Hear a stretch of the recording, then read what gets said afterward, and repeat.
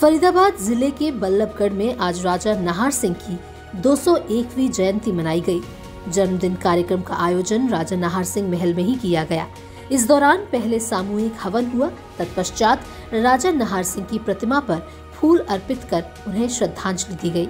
गौरतलब है कि महान हुतात्मा राजा नाहर सिंह एक महान योद्धा थे और उन्होंने सन अठारह सौ सत्तावन में दिल्ली को मात्र 134 दिन में आज़ाद करवा दिया था कार्यक्रम के दौरान शहीद सम्मान अभियान दिल्ली के संयोजक चौधरी हरपाल सिंह राणा ने बताया कि ऐसे महान योद्धा का विस्मरण नहीं होना चाहिए।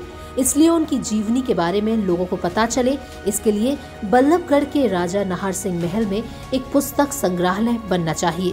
साथ ही महल के अंदर उनकी प्रतिमा भी लगानी चाहिए।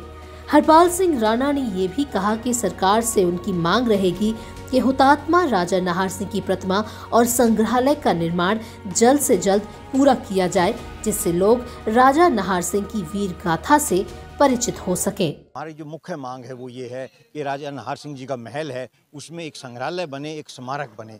ये बहुत दिन से मांग की जा रही है, यहाँ पे यहाँ के सभी समाज से। यहाँ पहले शराब का बार चलता था, वो सबके सहयोग से बंद हो गया है।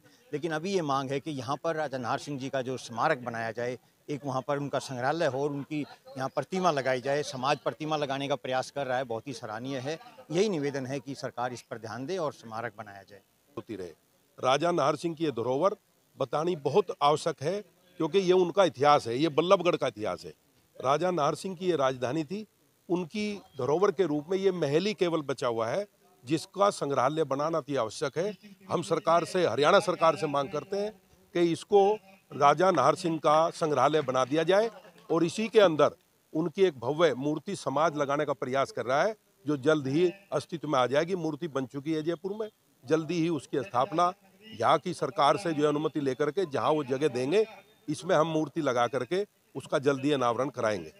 इस धरोहर का नाम ऊँचा करें, क्योंकि दिल्ली से लेके और आज कोसी बॉर्डर तक, अगर हमारे पास इस पूरे तीनों ज़िले में एक धरोहर है तो राजा नाहर सिंह की है। पीढ़ी को पता हो कि हमारे जो ना शहीदों ने क्या क्या कुर्बानियाँ दी हैं जो आज हम खुले में सांस ले रहे हैं ये उन्हीं की बदौलत है।